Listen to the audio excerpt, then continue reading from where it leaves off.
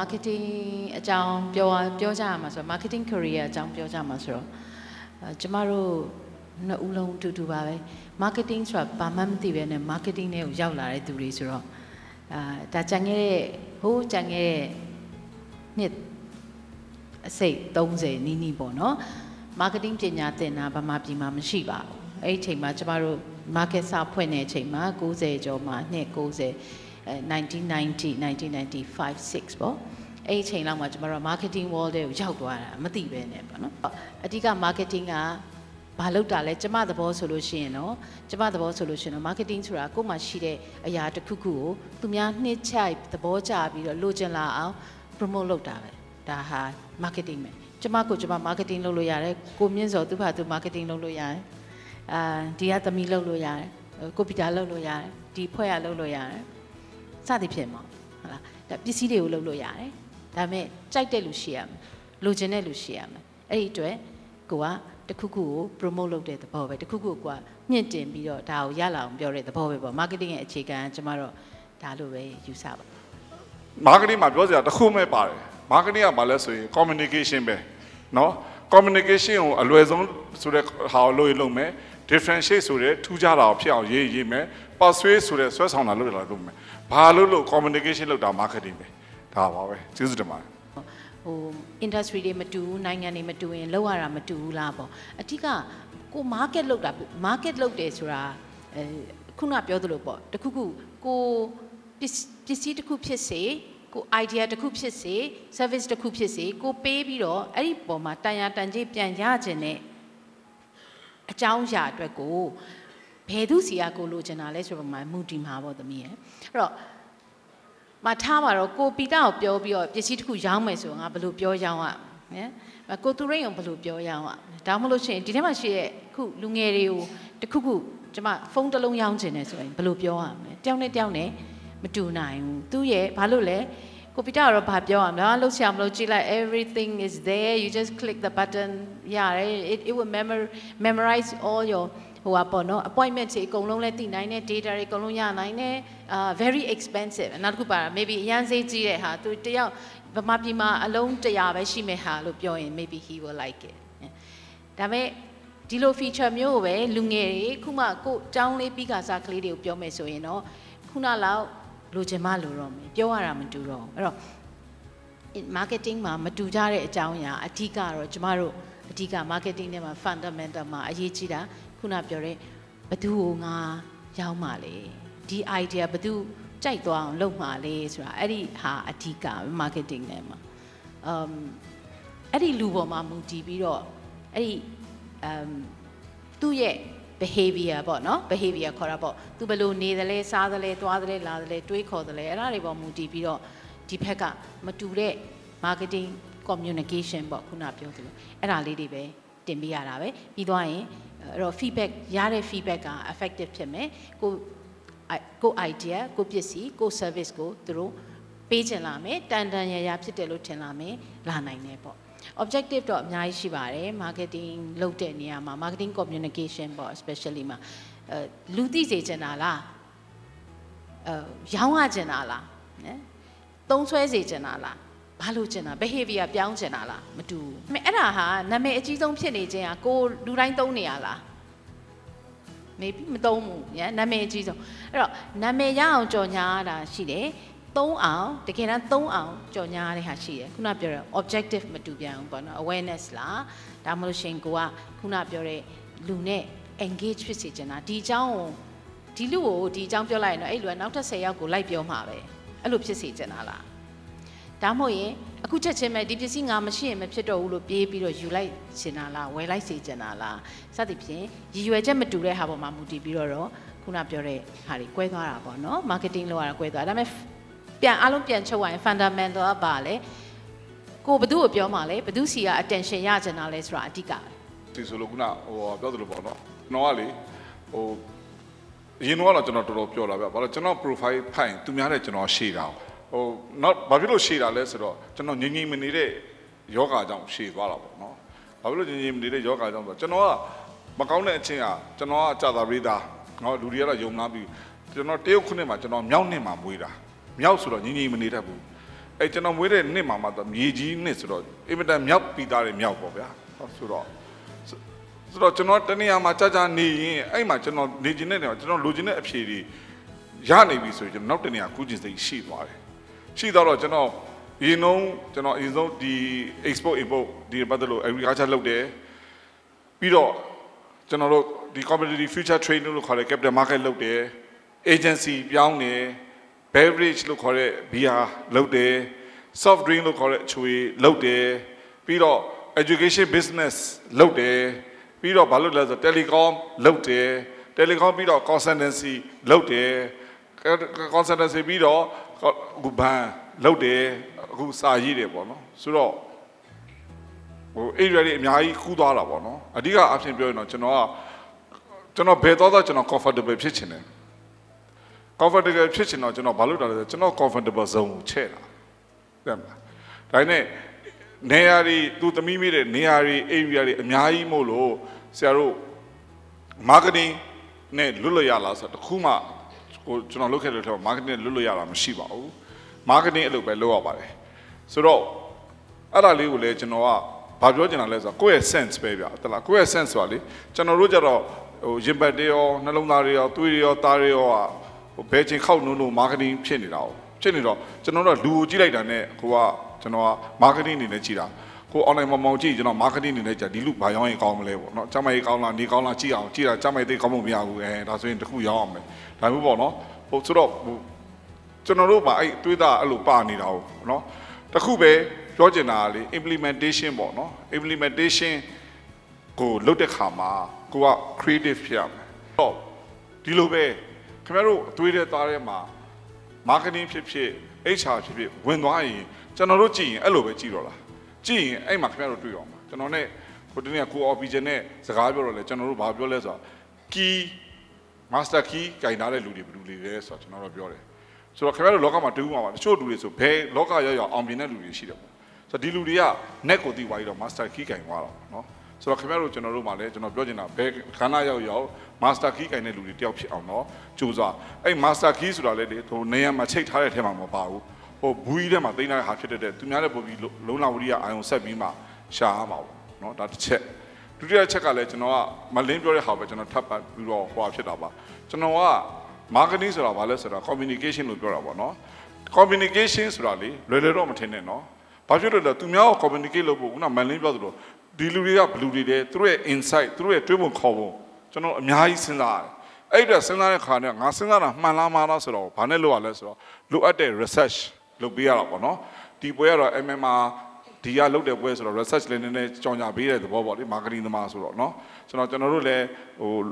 MMRD ကိုလွဲမားစာနဲ့လွန်ခဲ့တဲ့15နှစ်ကလေး20နှစ်30ဒီအခုထိအတုံးပါပဲเนาะဆိုတော့ research ကိုအားရတာပေါ့เนาะဆိုတော့ research ကိုအားပြီးတဲ့ခါကျမှ research ရတဲ့ data အောင်မှကျွန်တော်တို့ကဘာလို့ရလဲဆိုတော့ STP လို့ခေါ်တဲ့ segmenting station targeting positioning ဆိုလို့တာဘာဖြစ်လို့လဲလူကလောဘကြီးလို့မရဟာဒီဈေးကွက်ကြီးတစ်ခုလုံးငါတို့လိုချင်တယ်ဟေ့ဆိုတော့လို့လို့မရဘူးကို့မှာ main power ရှိတယ် capacity ရှိတယ် investment capital ရှိတယ်ဆိုတော့လိုချင်တဲ့ထက်မှာငါဘလို့လိုချင်တဲ့ဆိုတော့ segment ထားတယ်ဆိုတော့အဲ့လူတွေစိတ်ဝင်စားမဲ့ဟာဘာလဲခုနမန်လင်းပြောသလိုပေါ့နော်ခေါင်းလျှော်ရင်နဲ့ပတ်သက်လို့ခေါင်းလျှော်မှတ်မိတယ်မလားကြောညာမှာပေါ့နော်မန်လင်းပြောချင်တဲ့ဟာကောင်းမှသပင်လေးခါပြီးတော့လေခေါင်းလေးခါပြီးတော့သပင်လေးဖွားနဲ့ထွက်တဲ့ကြောညာမှတ်မိလားခေါင်းလျှော်ရင်မှတ်မိလားမှတ်မိတယ် ဒစိမ့်မှတ်မိလားမမှတ်မိဘူးအဲ့ဒါဆိုတော့နာတာပေါ့နော်ဆိုတော့အဲ့ဟာကိုကျွန်တော်တို့ကပြန်ပြီးတော့ signification ပြန်ပြီးတော့လေ target ပြန်လုပ်ရတယ်ပြီးတော့မှအဲ့လူတွေကိုစိတ်ဝင်စားအောင်ဘယ်လိုလုပ်မလဲသပင်မပေါက်တဲ့လူတွေနော်အခုတို့ကဘာမှမဟုတ်နော်ဥပမာပြောတာနော်သပင်မပေါက်တဲ့လူတွေကျွန်တော်ဘာရောက်မလဲနော်သပင်ပေါက်တဲ့လူတွေဘာရောက်မလဲအဲ့ဒါကြတော့ကျွန်တော် positioning ဖြစ်သွားတာပေါ့နော်ဒါတော့ကျ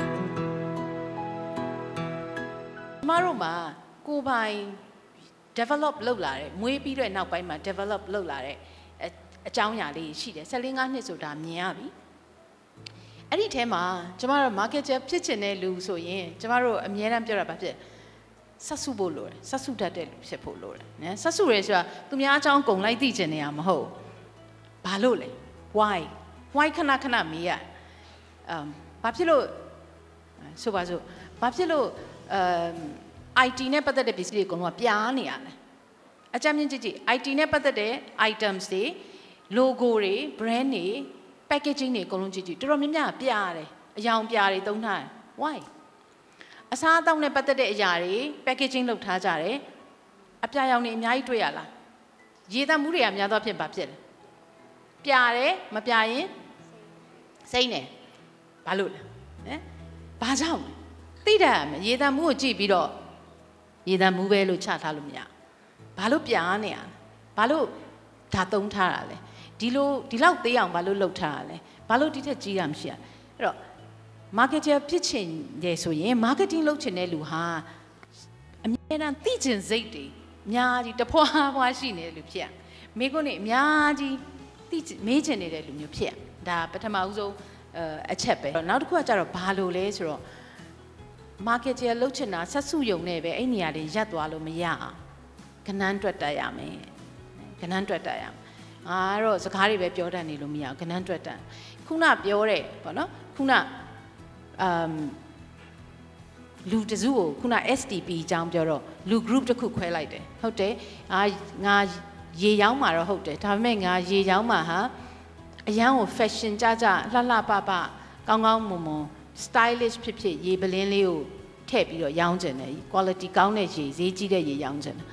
ဘာသိဖို့လို့လဲအဲ့လိုမျိုးသဘောကျမဲ့လူဘယ်နှယောက်လောက်ရှိလဲဆိုတာကိုကကနန်းတွက်တတ်ဖို့လိုတယ်မာကက်တာမှာခုနပြောတဲ့စိတ်နဲ့မေးကျင်စိတ်ရှိုံနေမဟုတ်ဘူးတင်ချာကနန်းတွက်တတ်ရမယ်နော် focus လုပ်တတ်ရမယ်ဘယ်လောက်ရှိလဲဆိုတာကြည့်တတ်ရမယ်စသဖြင့်ဒါလေးတွေနှစ်ခုလုံးလိုတယ် science နော် science ဘက်ကိုလည်းအများကြီးလိုတယ် communication marketing ဆိုတာဟာ marketing ဆိုတာ both arts and science ပဲဘာလို့လဲဆိုတော့ communicate လုပ်တဲ့နေရာမှာကြတော့လူရဲ့ behavior ကိုသိရတော့မယ် human science ပါလာတယ် behavior science ပါလာတယ် but တစ်ဖက်ကပါရှိဖို့လို့လဲအဲ့လူကိုဘယ်လိုပြောမလဲ creativity လာတယ် creativity လာတဲ့အတွက်ကြောင့်အဲ့ဒီ creativity ကြောင့်ခုနပြောတဲ့ art ဖက်ကိုနည်းနည်းပြန်ပြီးတော့ရောက်သွားတယ်နော် ဆိုတော့ art လည်းရှိရမယ် science လည်းပါရမယ်စဉ်းစားတတ်ရမယ်တွက်ချက်တတ်ရမယ်အာသိချင်စိတ်အမြဲတမ်းရှိနေရမယ်ကိုအဲ့လိုလူလားလို့စဉ်းစားကြည့်ပေါ့ကိုအဲ့လိုလူဆိုလို့ရှိရင်တော့ marketer မြန်မြန်ဆန်ဆန်ဖြစ်နိုင်တယ်အဲ့ထဲကိုရောက်ရင်မြန်မြန်တက်နိုင်မယ်လို့စဉ်းစားရမှာပေါ့နော် element က marketing ကတော့တိကျကဘာလေးဖြစ်နေတာဗျကြပြဆက်ဆံလေးပြောရရင်ဟိုငငငဆယ်စင်းနဲ့ထိုင်ပြီးတော့ဟိုကိန်းကနန်းကိုကြည့်ကျင်တဲ့လူကြတော့ research ဒီစပြီးတော့ marketing လုပ်ကြတာပေါ့နော် qualitative ရှိတယ် quantitative ရှိတယ်ဟိုအများကြီးပါ face to face ရှိတယ်အခုကြတော့ကျွန်တော်တို့က very very very very important ပါကျွန်တော်တို့ strategic marketing လို့ခေါ်တယ်ကျွန်တော်တို့က strategic marketing ကရလာတဲ့အလုံး data တွေအကုန်စုပြီးတော့မှဒီလူတွေဘာမှရှိလဲဒီလူတွေကိုဘယ်လိုလုပ်ရင်ရမလဲဒီလူတွေရဲ့ behavior တွေကျွန်တော်တို့ကအဓိကပြောရင် behavior မှာ customer တူရောက်တဲ့ behavior မဟုတ်ဘူးကျွန်တော် insight သူတို့ဂျင်ဘတ်ထဲမှာဘာရှိတယ်ဆိုတဲ့ behavior ပါကျွန်တော်စဉ်းစားတယ် နောက်ဒီတဲ့ဒီတဲ့ဒီတဲ့အထဲဝင်ပြောရင်ကျွန်တော်တို့360 degree ဆိုတာရှိပါတယ်အဲ့ဒါဘာလဲဆိုတော့လူကမနဲ့မိုးလင်းနိုးတဲ့အချိန်ရတယ်အိတ်သွားတဲ့အချိန်ထိကိုသူတို့ဘာလုပ်လဲဘာကင်လဲဘယ်လိုစဉ်းစားလဲဆိုတော့ဒီငါပစ္စည်းဘယ်လိုရောင်းအောင်လဲဆိုတာတွေ့တာရှိတယ်နော်ဒါတွေက marketing ရဲ့ strategic မှာတွေ့ရတာအဲ့ marketing က strategic ထွက်ပြီးပြီဆိုမှကျွန်တော်တို့ဘာလို့လဲ business plan နဲ့ brand plan ရေးရ brand plan ရေးတဲ့ခါမှာလဲ brand တစ်ခုကခုနမလင်းပြောသလိုပေါ့အပြာရောင်ဘာဖြစ်လို့ဖြစ်ရလဲအ စိမ်းရောင်ဘာလို့ကိုစားပြုတယ်တန်ရှင်းတယ်လက်ဆက်တယ်တဘာဝနဲ့ဆိုင်တယ်ဆိုတာကိုကျွန်တော်ပြောချင်တာပေါ့နော်ဘာဖြစ်လို့အနီတွေများနေတဲ့အချိုးကြီးနောက်နိုင်တွေကြောင်ညာမှာခဏတော့တွေ့ဘူးတယ်မလားခဏကိုယ့်ကိုမေးဘူးလားနိုင်ကြောင်ညာဘာဖြစ်လို့10နိုင်7မိနစ်ကိုပဲအမြင်နဲ့ပြနေနိုင်ကြောင်ညာလေးလက်တန်နေစဉ်းအောင်စဉ်းစားဘူးလားဟမ်စဉ်းစားဘူးเนาะကျေးဇူးတင်တယ် definitely customer face ဆိုပြချင်เนาะဆိုတော့အဲ့လိုပြီးပြီဆိုတဲ့အခါမှာ business plan စဉ်းစားရတယ် business plan စဉ်းစားတဲ့အခါမှာအဲ့မှာ reality လာပြီ။ဘာ reality လာပြီလဲဆိုတော့ marketing ကပတ်စံရှာတာနောက်မှဘာရင်စလုပ်တာလဲပတ်စံသုံးတာနော်ပတ်စံသုံးတဲ့ဌာနကုမ္ပဏီတွေမှာပတ်စံသုံးတဲ့ဌာနဖြစ်တဲ့ခါမှာကိုခုနမလင်းပြောသလိုကိုကသွားပြီးတော့ဟာအရန်ကောင်းတယ်အရန်လို့လှုပ်တင်တယ်ခင်ဗျာသွားပြောလို့ဘယ်တထေးမှလည်းမခံဘူးဘယ် CEO မှလည်းမခံဘူး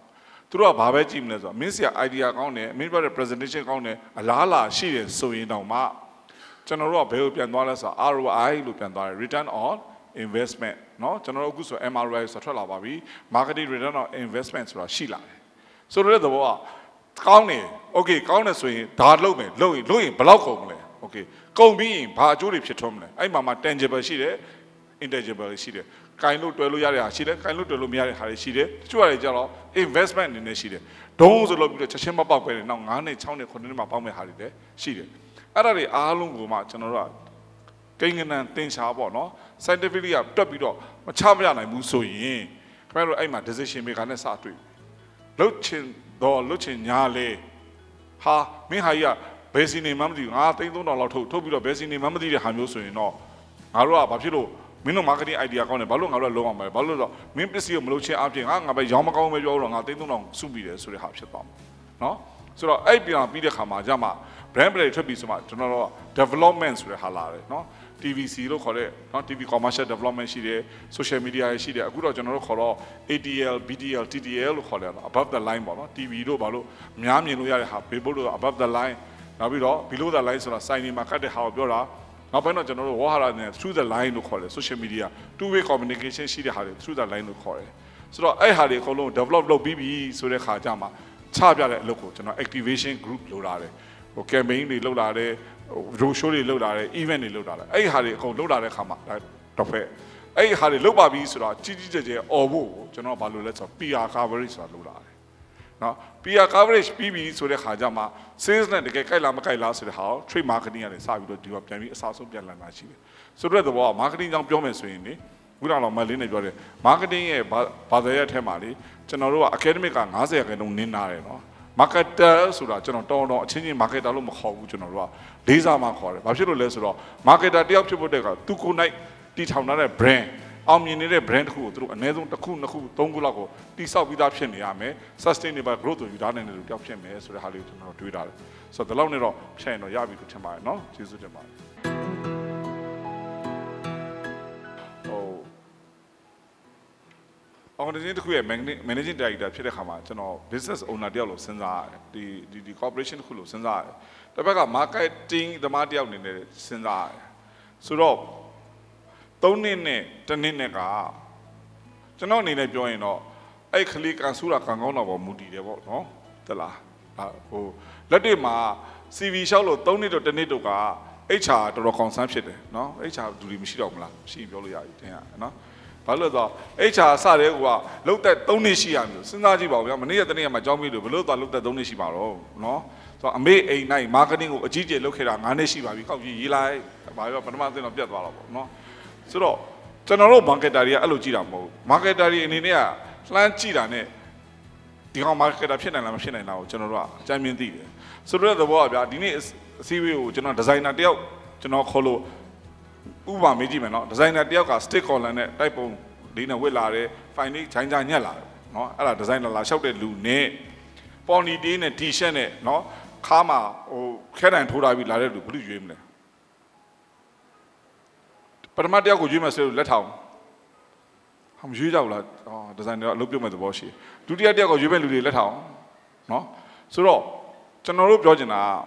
တကယ် user တွေအနေနဲ့ပြောရရင်တော့ကျွန်တော်တို့ကဒီကောင်ကတကယ်ဒီဇိုင်နာလုပ်မဲ့ကောင်ဆိုတာသိတယ်စပြောတဲ့ကအဲ့ဒီဇိုင်နာ၅ခုလောက်ပြောရင်ရင်ကျေးတဲ့ကောင်ခေါင်းမပါတော့ဘူးမကောင်းတော့ဟုတ်ကဲ့ပါဟုတ်ကဲ့ပါဟုတ်ကဲ့ပါဆိုတာခင်ဗျားတို့မတော်သေးဘူးလားလို့ပြောတာသူကနော် မတော်သေးဘူးလားလို့ပြောတာအဲ့လိုမှမဟုတ်ရင်ကျေးတယ်ဟုတ်ကဲ့ပါခင်ဗျာကျွန်တော်တို့ကုမ္ပဏီကိုကျွန်တော်ရောက်မှစတဲ့တပုတ်တော့အားသေးပြီအဲ့ကောင်မခန့်နေတော့ဘာမှတဲ့ကောင်မဟုတ်ဒါပေမဲ့လက်တွေ့လောကမှာ HR ရောက်တဲ့ခါကျ HR ဘယ်လိုကြိုက်လဲခါစိတ်ထဲပဲထားပါမပြောရလည်းမပြောပါနဲ့တော့နော်ဆိုတော့အဲ့ပြဿနာတစ်ခုရှိတယ်ဒါပုံမှန်လေးလေးပြောရင်ဒါဆိုတော့ကျွန်တော်တို့အခုနောက်ပိုင်းမလုပ်တယ်လဲဆိုတော့ကျွန်တော် ကျွန်တော်လည်းပုံမှန်လေးလေးယူသားဝင်ခိုင်းကျွန်တော်လည်းသွားမထိုင်နိုင်ဘူး marketing အစည်းအဝေးတိုင်းလည်းသွားမထိုင်နိုင်ဘူး marketing recruitment တိုင်းမထိုင်နိုင်တဲ့အခါကျွန်တော်ဘာလုပ်ခိုင်းလဲဆိုတော့ထိုင်မဲ့ session head marketing head ကိုမင်းတို့တစ်ခုခု case ချပေးခဲ့တစ်ခုလုပ်ခိုင်းခဲ့ကျွန်တော်မမင်းတယ်ဘူးအဲ့ကောင်ကြည့်ပြီးငါတို့စဉ်းစားမယ်ဥပမာဆိုရင်ဒီဇိုင်နာဆိုရင်ချပေးလိုက်ဒီဇိုင်နာတစ်ခုကိုမင်းတို့မှစဉ်းစားပြီးပြန်တက်လာပြီးအဲ့ဒီဇိုင်းကဘာလို့ဒီ color ရွေးလဲဘာလို့ဒီ aim လုပ်တယ်ဘာဖြစ်လို့ဒီ angle လုပ်တယ်ဆိုတော့မေးတယ်အဲ့လိုပဲကို client service ဆိုကောင်းပြီ client service ဆိုတဲ့ case ခုချပေးလိုက်တယ်မင်းတို့စဉ်းစားချက်ချင်းရေးကြမလို့ ပြန်တက်လာဆိုတဲ့ဟာမျိုးတော့ကျွန်တော်တို့အနေနဲ့တကယ်လို့ကျွန်တော်သာ marketer တယောက်အနေနဲ့ကျွန်တော်ခလုတ်တိုက်ပြီးအဲ့ဒီ interview ကျွန်တော်ထိုင်ပြတော့ကျွန်တော်အဲ့လိုစစ်တယ်ဒါနဲ့ကာဆူးစာမင်းတချို့ကလေးတွေက HR process ဖြစ်ရပြီဆိုတော့ဒီဒုက္ခလေးတော့ခံရမှာပေါ့နော်ဒါတော့သူတို့လက်တွေ့မှာဖြစ်တဲ့ကိစ္စပါနော်ဆိုတော့ကျွန်တော်နောက်ပိုင်းတော့ကျွန်တော်တို့ဘာမှန်းနာလဲဆိုတော့ marketing သမားကိုခန့်ရင်ကျွန်တော် case study တင်ပါဆိုတဲ့ဟာမျိုးခန့်တာလဲဘာဖြစ်လို့လဲဆိုတော့ကျွန်တော်တို့ဘီယာမာစာခန့်စဉ်ကကျွန်တော် marketing ဘီယာ experience မရှိဘူးအရက်လည်းမတော့တော့ဘီယာလည်းမတော့တော့ဘူးဒါနဲ့ကျွန်တော် agency experience ရှိတယ်ဆိုတော့သူတို့ကဘာပြောလဲဆိုတော့မင်းတာဝန်က local brand တစ်ခုကို3လတွင်တော့အောင်ရော့ site နဲ့ bobbin နဲ့မင်းတို့15မိနစ်ပြင်မယ်ရေးဘာလို့လုပ်မလဲဆိုတော့ကျွန်တော်ချရေးရတယ်ဆိုတော့ချရေးတော့အလုတ်ခန့်ကမှခံရတာပေါ့နော် ဆိုတော့အလုတ်ခန့်တော့တော်တော်ဂျင်းနီးသွားပြီဆိုမှမေးတော့ငါဘာဖြစ်လို့ခန့်လဲလို့ဘာလို့ကျွန်တော်ရေးတာတမျက်နှာကျွန်တော်ခဲတယ်နဲ့ရေးတာဘာလို့ကျွန်တော်ဘောဝင်မပါပါဘူးကျွန်တော်ဘေးနာနိုင်ငံခြားပြန်ဘူပြန်နေရေးထားတာလေးမျက်နှာရေးထားတယ်ဒါကျွန်တော်ခန့်ဘာဖြစ်လို့လဲဆိုတော့နောက်ဆုံး3နှစ်လောက်နေတာခင်တော့ဘာဖြစ်လို့ငါခန့်တာလဲဆိုတော့မင်းရေးတာ sequence ကြတယ် series ကြတယ်ဆိုတော့မင်းကစာအရသိတာမဟုတ်မင်းကလက်တွေ့ရဒါပြီးဒါလုပ်မယ်ဒါပြီးဒါလုပ်မယ်ဒါပြီးဒါလုပ်မယ်ဆိုသိတဲ့အတွက်မင်းကငါတို့တဲ့အလုပ်ဖြစ်မယ်ဆိုတဲ့ဟာကိုတွေးတာ။ Okay တစ်ချက် နောက်နည်းနည်းလေးစိတ်ဆိုးစာစကားပြောရမယ်နော်။အရန်ပြောချင်လို့ပြောတာပါ။လူတယောက်ကအလုပ်ဝင်လျှောက်ရင်တထေးတွေပိုင်ရှင်တွေမန်နေဂျာတွေရဲ့ရုပ်ကအရင်ဆုံးမရုပ်ပေါက်တယ်သိလား။မင်းတို့ငါတို့ဘာဖြစ်လို့ခန့်မှာလဲဆိုတဲ့ဟာစလာကျမတို့ကျွန်တော်တို့ခန့်ပါကျမတို့ကျွန်တော်တို့ခန့်ခြင်းအပြင်ဘာဘာဘာဘာကောင်းပါတယ်လို့ခေါင်းထဲမှာဖြေနိုင်ဖို့လက်ထဲမှာဖြေနိုင်ဖို့စားရဆန္ဒရှိတယ်စိန်ခေါ်ရတဲ့တတိရှိတယ်ဆိုရင်ခဲတော့အလုပ်ရသွားမှာပဲ မဟုတ်ရင်တော့ခဲတော့အလုပ်ရမှာမဟုတ်သဘောပါတယ်နော်ကျေးဇူးတင်ပါတယ်အဲကျမတို့ agency တွေမှာဆိုလို့ရှိရင်တော့ agency ရဲ့အလုပ်ကခုနလိုပေါ့နော် advertising agency လို့ရတော့ advertising agency service ပေးနေရတဲ့လူတွေမှာလူခန့်ရတာဖြစ်တဲ့အတွက်ကြောင့်ကျမတို့ကနည်းနည်းပိုးပြီးတော့တတိထားတတိထားဟိုမှာခုလိုဒီလို client မျိုးတွေသွားပြီး service ပေးရတာကိုမမလွယ်ဘူးပေါ့နော်မလွယ်ဘူးပေါ့မိစရာမိကုန်းတွေအများကြီးပဲတိရတယ်လည်းအများကြီးပဲဆိုတော့နော် အဲ့တော့ခုနပြောသလိုဆိုလို့ရှိရင်ဟိုဘွဲရပေါ့နော် marketing နဲ့ဘွဲရထားတာ fresh graduate ဘွဲရထားတဲ့သူရဲ့အဲ၃နှစ်လောက်အတွေ့အကြုံရှိတဲ့လူဘယ်သူခန့်မလဲဆိုတော့နှစ်ယောက်လုံးက possibility ရှိတယ်ဖြစ်နိုင်ခြေရှိတယ်ဘာလို့လဲဆိုတော့အဲဒါပေမဲ့ကျမဘက်ကနေမစင်စားပဲနဲ့ဒီထိုင်နေတဲ့လူတွေဘက်ကနေစဉ်းစားကြည့်အောင်ဘယ်လိုအလုပ်မျိုးရွေးမလဲပေါ့နော်ကျမတို့ကျမလိုနေတဲ့အလုပ်ကကျမမှာစနစ်ရှိတယ် assistant လုပ်ဖို့ပဲလိုတာလား assistant လုပ်ဖို့ပဲလိုတာနောက်ကျမတို့မှာစနစ်ကြီးနဲ့အတွေ့အကြုံနဲ့သင်ပေးသွားနိုင်တယ် assistant level ပဲလိုချင်တာဆိုရင်တော့ကျမကခုန theory ကောင်းကောင်းကြည်ကြည်ညံ့ညံ့ရလာတဲ့သူကိုကျမခတ်မှုစူးစမ်းမယ်အဲ့ဒီလူကိုကျမသူ့အပေါ်က manager နဲ့တစ်နှစ်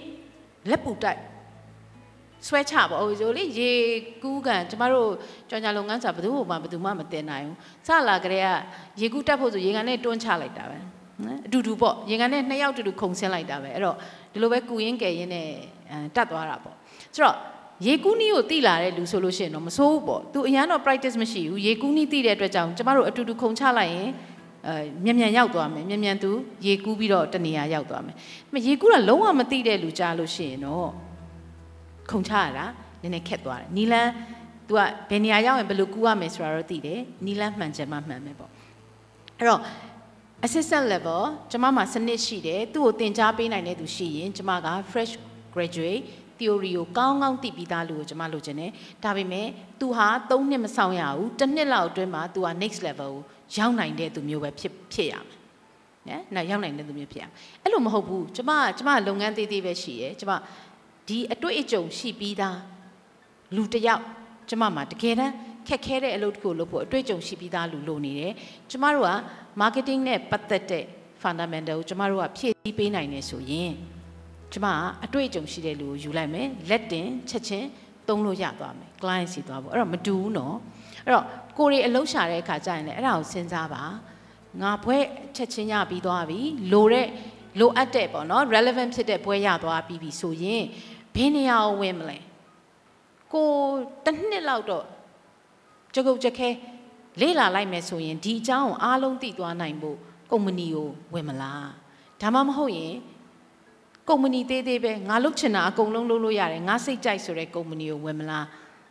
again ကို choice ပါပဲဒါပေမဲ့အဲ့ဒါကိုစဉ်းစားပါတစ်နှစ်လောက်ကိုကတင်တန်းကောင်းကောင်းတက်ပြီးသွားတဲ့အချိန်မှာတစ်နှစ်လောက်ကိုလေးလာစရာ တကယ်အလုတ်ခွင်ထဲမှာလေးလာစရာတစ်နှစ်လောက်ရသွားတယ်ဆိုရင်ချက်ချင်းကိုက၃နှစ်အတွေ့အကြုံရခဲ့တဲ့လူထက်တောင်ကိုကရှေ့ကိုရောက်နိုင်တယ်အဲ့လိုအလုပ်မျိုးကိုရှာပြီးတော့တော့ဝင်ဖို့လိုမယ်နော်နောက်အဲခုနပြောသလိုပေါ့ကို character ပေါ့နော်ကိုဘယ်လိုလုပ်ချင်လဲဘာလုပ်ချင်လဲဆိုတော့ marketer အနေနဲ့တော့လေခုန interview သွားရမယ်ဖြစ်ဖြစ်ဟိုကိုယ့်ရဲ့ marketing သမားဟာ မှန်တာဖြစ်စေမှားတာဖြစ်စေနောက်မှဒါခုနပြောတတိရှိရမယ်ဘာကြောင့်လဲပြောနိုင်ရမယ်အချက်အလက်နောက်မှရှိရမယ်ဒီအချက်လက်ကြောင့်ကိုဒါပြောတယ်ဒါလုပ်နိုင်တယ်ဆိုတာမျိုးရှိရမယ်အဲ့တော့သုံးနှစ်နဲ့အတွေ့အကြုံနဲ့ပဲဖြစ်ဖြစ် fresh graduate ပဲဖြစ်ဖြစ်မင်းဘာလုပ်နိုင်လဲကွာဆိုရင်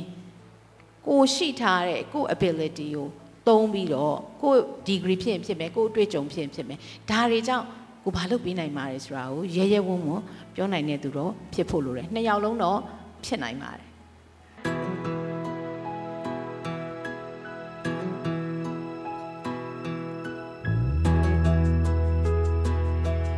ဘယ်လိုစိတ်နေစိတ်ထားရှိရမလဲဆိုတော့ခုနပြောခဲ့သလိုပါပဲဟိုသိကျင်စိတ်ရှိရမယ်လေ့လာကျင်စိတ်အများကြီးရှိရမယ်အဲ့ဒါကိုစိတ်ဝင်စားရမယ် ဟိုကျွန်မဥပမာနဲ့ဖြည့်ကြည့်မယ်နော်ဘယ်လိုဘယ်လိုစဉ်းစားလဲလို့ကျမတို့ကတဖြည်းဖြည်းနဲ့ marketer လောက်လာပြီးလို့ရှိရင် consumer insight တွေအထူးသဖြင့်ပေါ့ research တွေဘာတွေအများဆုံးသွားနေတော့ဘာဖြစ်ဆိုကျမတို့ကလူကိုလူလိုမမြင်တော့ဖြစ်လာလူကို target လို့မြင်လာဒါဆိုရင်ဟိုမှာထားပါတော့ကိုမင်းတလားလို့မမြင်တော့ this is 50 plus uh, businessman male အဲ့ဒါကိုစပြီးတော့မြင်လာ family man အာပေါ့လေသူဘာလို့ဖို့သူ inspiration ကဘာဖြစ်မလဲအဲ့လိုစမြင်လာ ဒါ general crowd ကိုကြည့်လိုက်နော်အဲအဲ့တော့အဲ့ဒါမျိုးအဲ့ဒါမျိုးဖြစ်လာတဲ့အထိကိုစိတ်အားထက်သန်မှုကို passion ရှိရမယ်စိတ်ဝင်စားမှုရှိရနော်လူတွေစီကနေနားထောင်ခြင်းစိတ်ရှိရနားထောင်ခြင်းစိတ်ရှိရနားမထောင်နိုင်တဲ့သူဟာတခုခုပြောလို့ရှိရင်ကိုကြီးပဲပြောဖို့စူးစမ်းနေတဲ့သူဟာခုနပြောတဲ့ဟို insight တွေပေါ့နော်လူတွေရဲ့စိတ်ကူးစိတ်တန်းတွေအတွေးတွေကိုရနိုင်တဲ့သူမဖြစ်နိုင်ဘူး listening ဆိုတာသူများစကားပြောနေတော့ငြင်ငြင်လေးနားထောင်တာတခုတည်းမဟုတ်ဘူးနော် listening ထဲမှာ scale တွေအများကြီးရှိရယ် analyze လုပ်နိုင်ရတယ် summarize လုပ်နိုင်ရတယ်ဒါဘာပြောနေရဲဆိုရယ် points တွေဆွဲထုတ်နိုင်ရတယ်အဲ့တော့အဲ့လို listening skill ကောင်းကောင်းရှိဖို့လိုတယ်တတိရှိရမယ်ကို့ထင်မြင်ယူဆချက်ကိုချပြနိုင်ရမယ်မှန်ချင်မှန်မယ်မှားချင်မှားမယ်ထင်မြင်ယူဆချက်ကိုချပြနိုင်ရမယ် ခုနပြောတဲ့ analytical skills ရှိရမယ်ပေါ့ဒါတွေအဲ personal quality ဆိုရင်တော့အဲ့ဒါပဲကျွန်မမြင်တာတော့အဲ့လောက်ပဲအဲ့ဒီအခြေခံနေရှိရင် marketing ထဲမှာပို့ပြီးတော့လုပ်လို့ကောင်းတာပေါ့နော်။သမီး messaging ပိုင်းကြတော့ messaging ဆိုတဲ့နေရာမှာဘာမှတ်မိစေချင်တယ်လဲပေါ့သမီးရဲ့ဘာမှတ်မိစေချင်တယ်လဲလို့စဉ်းစားရတယ်။ Okay အာအမြဲတမ်းရှိတယ်ဘာရသွားစေချင်တာလဲ တခုတော့ရှိတာပေါ့လေဒီမင်းသမီးနဲ့ associate လုပ်ပြီးတော့ကြော်ညာတဲ့ဆက်ပြလို့သွားမေးပြီးဝင်ရင်တော့ရရင်ရမှာပေါ့ဟဲ့တစိတ်ကိုမသိပေမဲ့အဲ့တော့အဲ့ဒါဟာခုနပြောတဲ့ messaging ရဲ့ part ပဲကိုတကယ်ဘာပေးချင်တာလဲဒီဆက်ပြာကောင်းပါတယ်လားမျက်နှာလိမ့်ရတာလားခန္ဓာကိုယ်အတွက်လားဘာလားဘာမှမသိနိုင် messaging အပိုင်းက effective ဖြစ်အောင်လုပ်ရမယ်ဆိုရင်ကိုဘာလိုချင်တာလဲကြော်ကြားမှုတက်တက်ဆိုရင်ခုနပြောတာနဲ့ပြီးသွားတာပေါ့နာမည်ကဆက်ပြာနာမည်ကြီးသွားပြီ ဒါပေမဲ့ဘာအတွက်လဲဆိုတာဘယ်သူမှမသိဘူး messaging ဟာအတိတ်ပဲရှိရမယ်ဘာလိုချင်တာလဲကိုကဘာပါဆိုတာပြနိုင်ရမယ်ကိုကဘာပစ္စည်းပါဘာအတွက်ပါဘာကောင်းနိုင်ပါလဲဆိုပြနိုင်ရမယ် messaging ကတော့အကြံဉာဏ်အဲ့လောက်ပါပဲခိုင်သမီးကျေးဇူးတင်တယ်သမီးအဲ့လိုမိတာလေဟိုအပြင်အကြောင်းမှာနှစ်ပတ်ပေးတယ် business model ရေးခိုင်းတယ်အာအချိန်မလောက်ဘူးပေါ့နော်ဒါသမီးအင်မတန်တဘာဝကြတဲ့ကိစ္စပါ ဆရာတို့လက်တွေမှာတော့လေသမီးပြောတော့ဆရာတပည့်တွေမျက်နှာတွေအစီမြင်လာတယ်ဆရာညနေပိုင်းတစ်ပိုင်းပဲပေးတယ်သလားအဲသလားဆရာစေကူပေါက်ပြီးတော့မနေ့ပြန်တော့ငါစီးပွားရေးတက်လို့သွားစရာရှိတယ်အဲ့မှာမင်းတို့ mobile wallet နဲ့ပတ်သက်လို့ရောင်းစရာဘာရှိတယ် business plan တင်ငါညဖတ်မယ်မနေ့ကမင်းတို့လိုက်ခဲ့ဒါပဲပြောလိုက်တယ်သဘောပါပြီနော်ပြီနော်ဆိုတော့ကောင်းပါလေသမီးတို့လေ ဆရာတို့လည်းအဲ့လိုပဲသမီးရဲ့တလားဆရာတို့တို့ကတော့သမီးတို့တဲ့ဆိုင်နှစ်ပတ်မှုဆရာတို့တို့ကတစ်လလောက်ချိန်ရတယ်ဘာဖြစ်လို့ရလဲဆိုတော့ဆရာတို့တို့ကဒိုင်လုံးမဲ့လူကလည်းဆရာတွေကခက်ကြောက်ကြောက်ဘာလို့လဲသူတို့ကလည်းဒိုင်သာလောက်ရတာ business အပြင်ကလူသိကိစ္စသိမသိဘူးဆရာတို့လည်းခက်ကြောက်ကြောက်ကိုပြောရင်မားမှလည်းကြောက်သေးတာပေါ့နော်ဒါအချိန်တစ်လလောက်ရတယ်တို့တော်လည်းလေအဲ့နှစ်ပတ်တို့တစ်လားတို့ကအသက်ပဲသမီးရဲ့လူရင်းလူရင်းလူရင်းနဲ့ပဲလေအဲ့ပေါ်မှာသမီးတို့လုတ်ပါများသွားတဲ့ခါမှာဒီကောင် speaker မြန်သွားဟိုဒူးမှာအုံနောက်ရှိတယ်သိရနော် လူမှာအုံနောက်ရှိတာမသိရလို့ရှိတာရှိတော့ရှိတယ်โอเคရှိကြတယ်နော်အုံနောက်ရှိကြတယ်အသုံးချဖို့လိုတယ်ပြောလားဟ ဆိုတော့အဲ့လူအုံနောက်မှာ conscious ရယ် subconscious ရယ် action ရယ်ဆိုပြီးသုံးမှရှိတာပေါ့နော်ဘာမှလို့ပြောရင်တော့တိအတိနဲ့သွားနေတဲ့အပိုင်းရယ်မတိပဲနဲ့သွားနေတဲ့အပိုင်းရယ်လှုပ်ရှားမှုအပိုင်းရယ်ရှိတယ်အဲ့ဒီထဲမှာမှအုံတော့အကြီးကမတိပဲသွားနေတဲ့အပိုင်းဖြစ်နေတယ်ဟုတ်လားဟိုမတိပဲသွားတဲ့အပိုင်းဆိုတော့ဘယ်လိုပြောပြရမလဲ ဟိုတမီးတို့ကအိမ်ပြန်နေနော်ပင်မတော့အိတ်တယ်ဟုတ်တယ်နော်အိတ်ပြီးတော့တရင်တို့ရေးစားဆိုထပြီးတော့ရေဘူးသွားပြီးရေတောက်တယ်ဟုတ်တယ်မလားဒါနဲ့အဲ့ရေဘူးသွားပြီးရေတောက်တဲ့နေရာမှာရေဘူးပမာထားလဲဆိုတဲ့အစိတ်ကိုတမီးတို့မှာခေါင်းမှာချိန်ပစ်ထည့်ထားဆိုင်လို့လားမလို့ဘူးဘာလို့တမီးမသိစိတ်ကောင်တိနေတာ哦ဘာပါလဲမလားမသိစိတ်ကောင်ဟိုဖြစ်နေတာဆိုတော့ဆရာတို့ marketing မှာတကယ်တမ်းကျရင်ဘယ်ဟာကိုဖောက်တာလဲဆိုတော့ဆရာတို့က conscious ဆိုဆရာတို့ကမဖြတ်ဘူး conscious ဆိုခက်မြန်မြန်ဖြတ်ပြီးတော့ subconscious တွေဒုံးလို့ဆိုပြီးတော့ action ဝင်ထိတာ ဖားတာ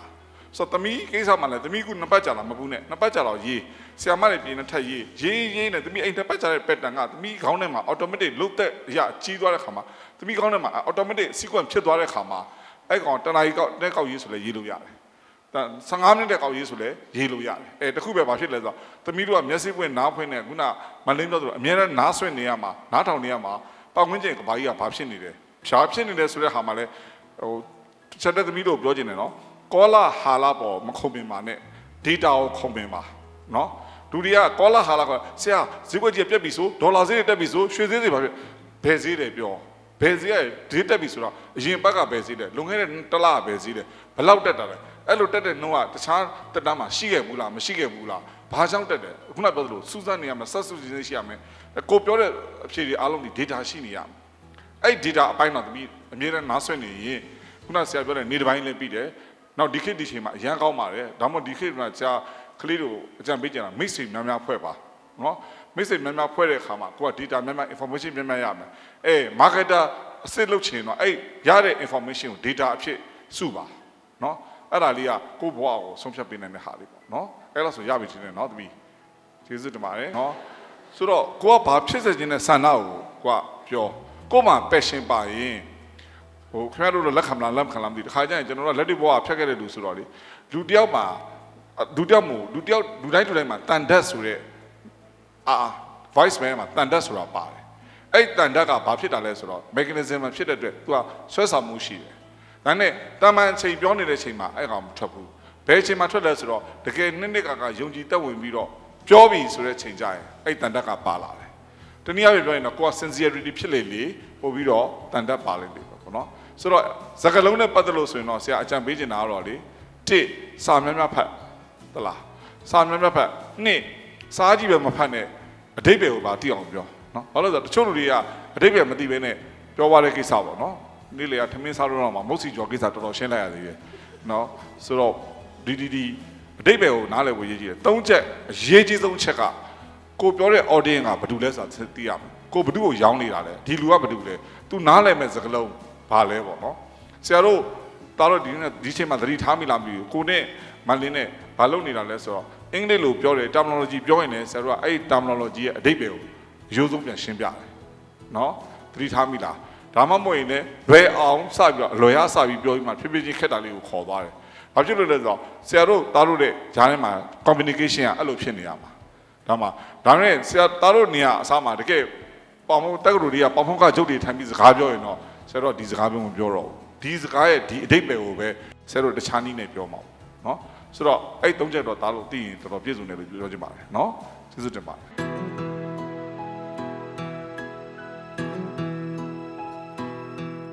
marketing မှာ functional marketing ဟဟလား functional marketing marketing analysis လုပ်ကြည့်တဲ့အခါမှာ marketing ထဲမှာ၃ခုရှိနိုင်တာဖြစ်နိုင်တယ်မှာ functional business level and corporate level ဟုတ်လား corporate level marketing ကဘယ်လို လဲအဲ့လိုမေးချင်တာလို့ထင်ပါတယ်ဟုတ်ပါအဲ့လိုပဲဖြေလိုက်မယ်နော်ဟုတ်အဲ့လိုပဲသဘောပေါက်တော့လေကျမတို့နှစ်ယောက်အဲ့လိုပဲသဘောပေါက်အဲ့တော့ functional level ဆိုတာတော့ကွာဈေးရောက်နေဒီပစ္စည်းဟာအဲဒီပစ္စည်းရှိရင်မီးပြတ်သွားရင်လည်းဥပမာထားပါတော့ generator ရောင်းမယ်ငါတို့ generator ကအရန်ကောင်းတယ်အတန်လုံးတယ်ဈေးမကြီးဘူးအမ်အမ်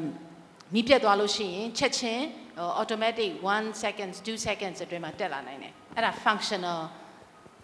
နဲ့ ဆိုင်တာပေါ့ communication ပေါ့ functional ပေါ့အဲ့ဒါကို functional ကိုအဓိကတာဝန်ယူပြီးတော့လုပ်တာပေါ့နောက်တစ်ခုက business ငါတို့က electronic ပစ္စည်းတွေအကုန်လုံး power generation နဲ့ပတ်သက်လို့အကုန်လုံး supply လုပ်နိုင်တယ် generator ရှိတယ် step up transformer ရှိတယ်အမ်စသည်ဖြင့်ပေါ့အဲ့ဒါတွေအကုန်လုံးကိုလုံနိုင်တယ်လို့ဆိုပြီးတော့ industry ကိုကိုကုမ္ပဏီအနေနဲ့ပေးနိုင်တဲ့အရာတွေအားလုံးကိုပြောပြီးတော့ ရောင်းတာအဲ့ဒါတွေအကုန်လုံး market လုပ်တာအဲ့ဒါကခုနပြောတဲ့ business level marketing ဖြစ်သွားတယ်နော်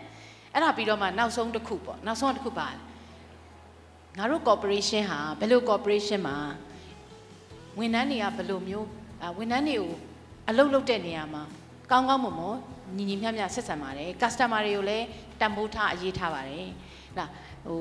အမှား0 default လားအမှားမရှိအောင် supply လုပ်နိုင်တဲ့ ကုမ္ပဏီမျိုးဖြစ်ပါတယ်လို့ဆိုပြီးတော့ကုမ္ပဏီရဲ့အကြောင်းကိုပြောရကြတာ corporate level ဖြစ်သွားတယ်အဲ့ဒါ corporate level marketing ဆိုတော့တစ်စစ်နဲ့တစ်စစ်မတူဘူးမိဆက်ပဲလိုချင်တဲ့လူကဘာလုပ်မလို့အဲ့ဒီမိဆက်ကချက်ချင်းဖွင့်လို့ရတယ်လုပ်လို့ရတယ်ဆိုတော့အပိုင်းကိုယူမယ်ကုမ္ပဏီတစ်ခုခုကပစ္စည်းတွေအများကြီးကိုစုပြီးတော့ဝယ်ခြင်းနေဆိုရင်တော့ခုနပြောတဲ့ business level ဟာကိုကြည့်မယ်သူဘာတွေ supply လုပ်နိုင်လဲပစ္စည်းတွေအများကြီးပါလိမ့်ရှိတယ်နောက်တစ်ခုနိုင်ငံခြားကကုမ္ပဏီကြီးတွေဖြစ်ရင်ဖြစ်မယ် တာဝန်ယူတတ်တဲ့တာဝန်သိတဲ့ service ကောင်းတဲ့ corporation တစ်ခုကိုပဲယူခြင်းနေဆိုရင်တော့သူကခုနပြောတဲ့ corporate level communication နဲ့ marketing ကိုပါသူကကြည့်ပြီးတော့ရွေးမှာပေါ့အဲ့ဒီသဘောလို့ပဲကျမတော့လွယ်လွယ်ရှင်းရရင်တော့အဲ့လိုပဲဖြစ်ရ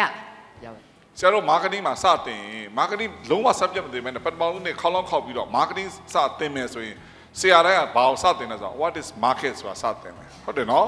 သင်လားမသိဘူးလား market ဆိုတာဘာလဲဆိုတော့ market ဆိုတာဘာမှလို့ခေါ်တော့ဘာလဲဈေးလို့ပြောတာဟုတ်တယ်နော်ဆိုတော့ဈေးဆိုတာဘယ်ရလဲဆိုတော့ရောင်းသူနဲ့ဝယ်သူနဲ့စုံတဲ့နေရာကိုဈေးလို့ခေါ်တယ်ဟုတ်လားမဟုတ်လားဟုတ်လားမဟုတ်လားမဟုတ်ရင်ခင်ဗျားတို့မှားတယ်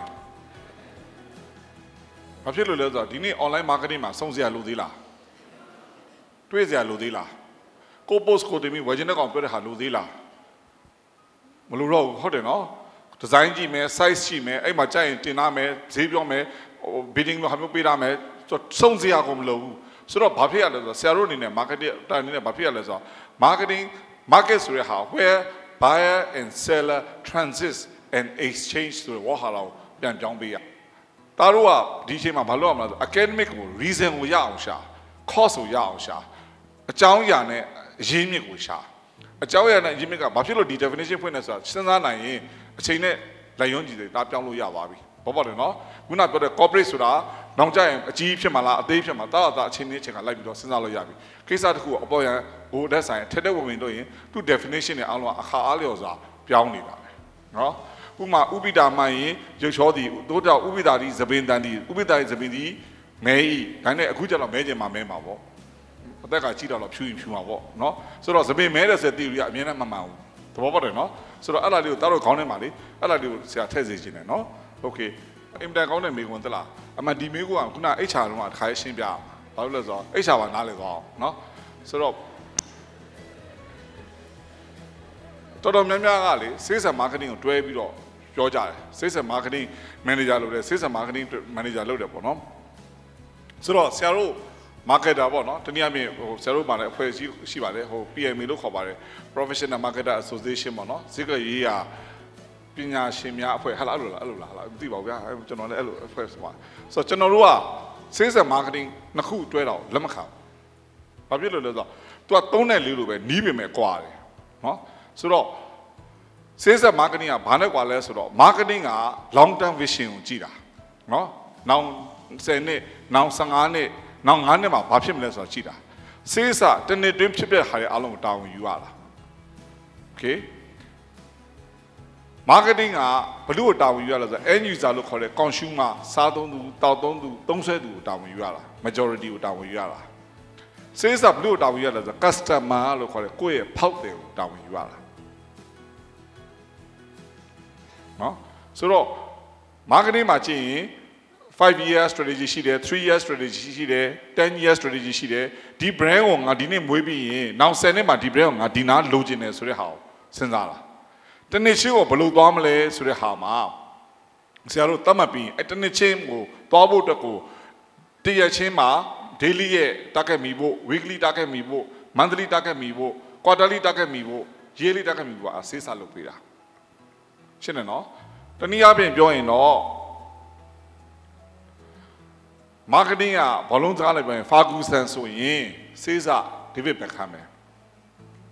ရှင်းတယ်နော်ဘယ်လိုကံမယ်ဘယ်လိုသွားမယ်ဒီချိန်မှာဘယ်လိုနားမယ်လူပြောက်အဲ့အဲ့လာပဲနော် coach နဲ့ player နဲ့ပဲနော်ဆိုတော့အဲ့လောက်ဆိုတာရှင်းသွားပြီပေါ့နော်အဲ့ဒီမှာမှာ advertising ဆိုတာခုနဆရာရှင်းပြခဲ့ပါတယ် marketing ကသူ့ကဘာလေးနဲ့သူနေတာလို့ပြောတာပေါ့နော်ဘာလို့သူ့ကဘာလေးနဲ့သူနေလဲဆိုတော့ marketing ကအရင်ဆုံး site strategic ကိုတော့ရတယ်ဥပမာ data analytical strategy စဉ်းစားပြီးတဲ့ခါကျမှ